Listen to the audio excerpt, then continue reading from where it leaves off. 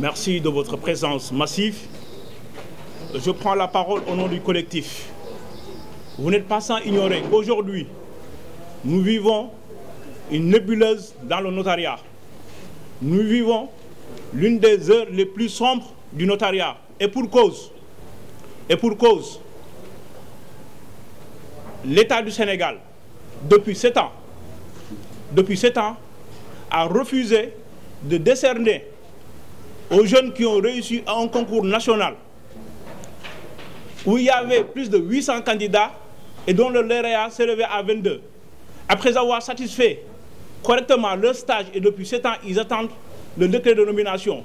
Que rien ne justifie, que rien ne justifie l'absence de ce décret, de fait et de droit.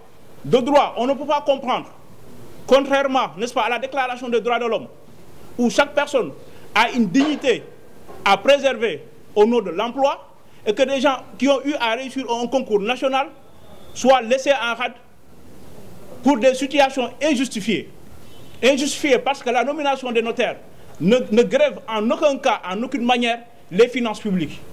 Le notaire n'est pas quelqu'un à qui on doit un salaire. Par conséquent, nous avons décidé d'être là parmi vous pour vous faire part de ces situations-là.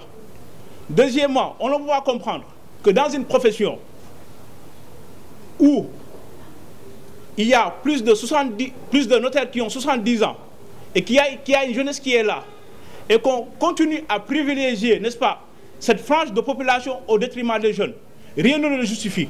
Ce combat-là, ce combat-là, on nous a imposé ce combat, nous allons le mener.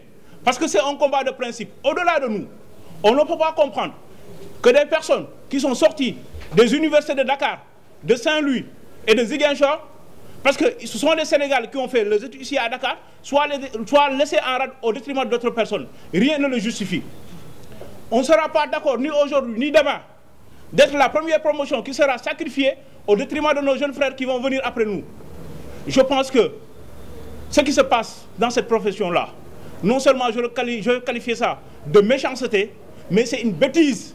C'est une bêtise incalculable. Et quoi qu'il en soit, nous allons mener ce combat-là jusqu'à la fin. Quoi qu'il nous coûte, nous allons mener ce combat-là jusqu'à la fin. Parce qu'en définitive, en définitive, seule la lutte libère. Merci, je vous remercie.